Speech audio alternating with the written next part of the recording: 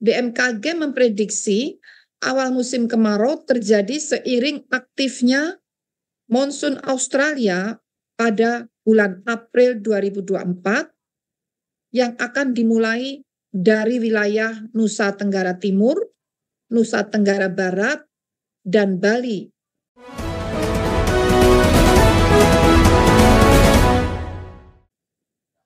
Dari total 699 zona musim atau ZOOM yang ada di Indonesia, sebanyak 90 Zoom atau 13 persen diprediksi akan memasuki musim kemarau pada bulan April 2024, yaitu di sebagian Bali, Nusa Tenggara Barat, Nusa Tenggara Timur, pesisir utara dari Banten, Jakarta, dan Jawa Barat. Ini maksudnya pesisir utara Jawa. Ya, mulai dari Banten, Jakarta, dan Jawa Barat dan bagian pesisir Jawa Timur sebanyak 120 eh, saya ulangi sebanyak 133 zoom atau 19 persen wilayah akan memasuki musim kemarau pada bulan Mei 2024. Ya, tadi saya ulangi, yang 13 persen diprediksi memasuki pada bulan April 2024 ya memasuki musim kemarau pada bulan April 2024 yaitu sebagian Bali, Nusa Tenggara Barat, Nusa Tenggara Timur, pesisir utara eh, Jawa Barat, pesisir utara dari Banten, Jakarta dan Jawa Barat dan bagian pesisir Jawa Timur. Kemudian sebanyak 133 zona musim atau 19 persen wilayah akan memasuki musim kemarau pada bulan Mei 2024 yang meliputi wilayah Jakarta, sebagian kecil Jawa Barat, Jawa Tengah, DIY, sebagian Jawa Timur, sebagian kecil Maluku, sebagian Papua dan Papua Selatan. Sementara itu, sebanyak, sebanyak 167 Zoom atau 24 persen wilayah akan memasuki musim kemarau pada bulan Juni. Pada bulan Juni, ya, meliputi sebagian besar Pulau Sumatera, Banten, sebagian besar Jawa Barat, sebagian Kalimantan Barat. Jadi eh, juga diperhatikan pada peta yang ditayangkan ya. Sebagian kecil Kalimantan Timur, sebagian Sulawesi Selatan, sebagian Sulawesi Tenggara, serta Maluku bagian Kepulauan Aru dan Panimbar. Sedangkan sejumlah 113 Zoom atau 16 persen lainnya merupakan daerah yang memiliki musim hujan atau musim kemarau sepanjang tahun. Jadi, Pak, kedua-duanya sepanjang tahun. Apa? Eh, baik musim hujan atau musim kemarau sepanjang tahun. Untuk wilayah yang 16 persen. Jadi ada wilayah yang sepanjang tahun musim hujan terus, tidak ada kemarau-nya, atau wilayah yang sepanjang tahun musim kemarau terus.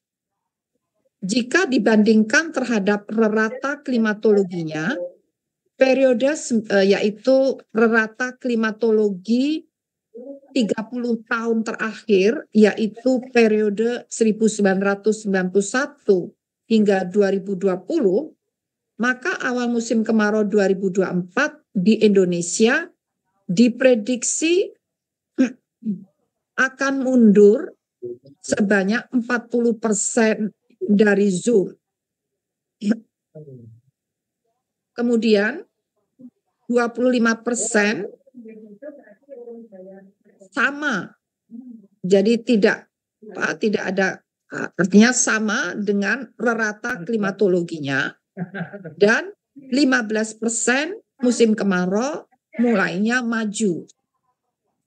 wilayah yang awal kemaraunya diprediksi mundur, ya, wilayah yang awal musim kemaraunya diprediksi mundur, yaitu sebagian Sumatera Utara, sebagian Riau, Lampung, Banten, Jakarta, Jawa Barat, DIY, Jawa Timur, sebagian besar Kalimantan, sebagian Bali, Nusa Tenggara Barat, sebagian Nusa Tenggara Timur, sebagian Sulawesi Tenggara, sebagian Sulawesi Barat, sebagian besar Sulawesi Tengah, Gorontalo, sebagian Sulawesi Tengah dan sebagian eh, maaf ya sebagian Sulawesi Tengah dan sebagian Maluku. Jadi wilayah-wilayah tersebut diprediksi musim eh, awal musim kemaraunya mundur dibandingkan rerata klimatologinya.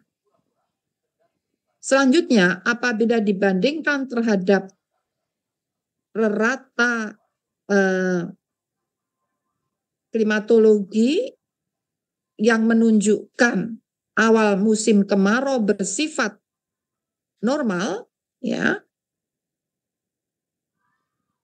ya musim kemarau diprediksi bersifat normal, ya saya ulangi, apabila dibandingkan terhadap rata klimatologinya, maka secara umum, saya ulangi ya, apabila dibandingkan terhadap rata klimatologinya selama 30 tahun terakhir, secara umum musim kemarau 2024 diprediksi bersifat normal. Ya, ini secara umum. Dan juga atas normal. Jadi biasanya itu kan ada yang bersifat normal, di atas normal atau di bawah normal. Nah, tahun ini 2024 musim kemarau ini diprediksi secara umum bersifat normal yaitu kurang lebih 359 zoom atau 51 36 persen dan di atas normal adalah 200, eh, sebanyak 279 zoom atau kurang lebih 39,91 persen. Jadi terdapat 60 zoom atau zona musim atau 8,73 persen yang diprediksi akan bersifat bawah normal. Wilayah yang diprediksi mengalami sifat musim kemarau di bawah normal, yaitu di sebagian kecil Aceh, sebagian kecil Sumatera Utara, sebagian kecil Riau, sebagian Kepulauan Bangka Belitung, sebagian Jawa Timur, sebagian Kalimantan Barat, sebagian Sulawesi Selatan,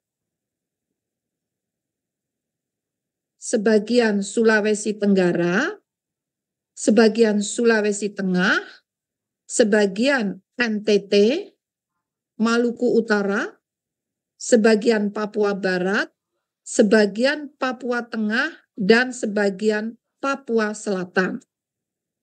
Sedangkan wilayah yang diprediksi mengalami sifat musim kemarau di atas normal, yaitu terjadi atau diprediksi akan terjadi di sebagian kecil pesisir selatan Sumatera Barat, Bengkulu, Sumatera Selatan, Lampung, sebagian besar Pulau Jawa, Bali, Nusa Tenggara Barat, Nusa Tenggara Timur, sebagian Kalimantan Barat, sebagian Kalimantan Tengah, sebagian Kalimantan Selatan, sebagian Kalimantan Timur, sebagian kecil Kalimantan Utara, bagian selatan, Sulawesi Selatan, dan Sulawesi Tenggara. Juga di Sulawesi Barat, bagian utara dari Gorontalo dan Sulawesi Utara, sebagian Maluku, sebagian Papua Barat, dan sebagian besar Papua Selatan. sebagian besar wilayah Indonesia sebanyak 317 zona musim atau 45,61 persen akan mengalami puncak musim kemarau pada bulan Agustus 2024, yaitu meliputi sebagian Sumatera Selatan, Jawa Timur, sebagian besar Pulau Kalimantan, Bali, Nusa Tenggara Barat, Nusa Tenggara Timur, sebagian besar Pulau Sulawesi, Maluku, dan sebagian besar Pulau Papua.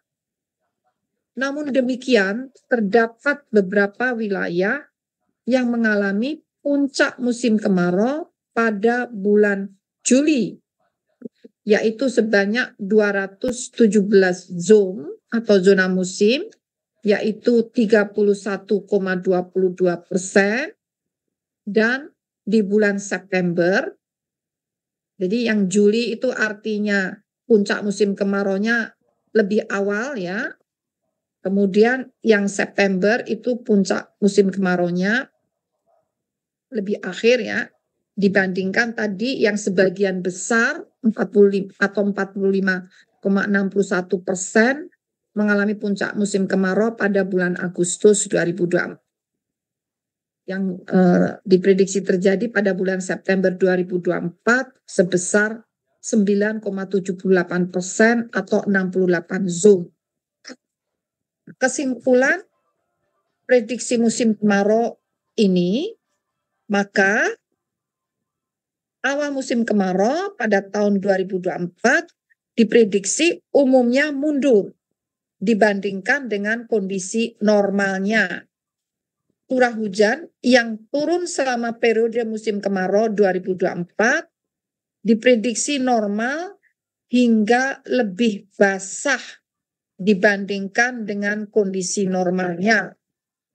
Meskipun demikian, beberapa daerah diprediksi mengalami curah hujan yang lebih rendah dibandingkan kondisi normalnya periode puncak musim kemarau diprediksi umumnya terjadi pada bulan Juli dan Agustus. Rekomendasi untuk menghadapi musim kemarau dapat disampaikan sebagai berikut.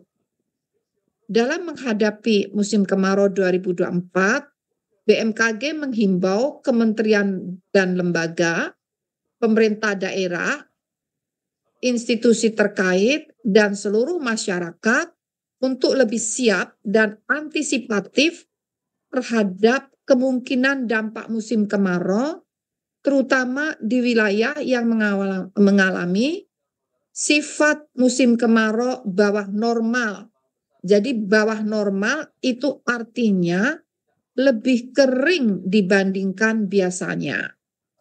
Wilayah tersebut tadi yang sudah kami sampaikan, diprediksi dapat mengalami peningkatan risiko bencana kekeringan meteorologis, juga kebakaran hutan dan lahan, dan kekurangan sumber air.